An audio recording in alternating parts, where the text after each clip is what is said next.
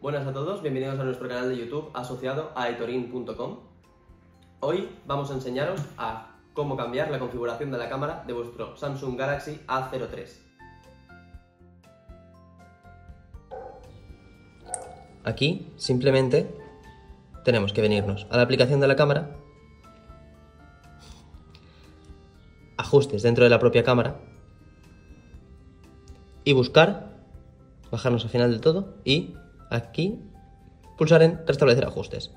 Y sí, queremos restablecer todos los ajustes de la cámara.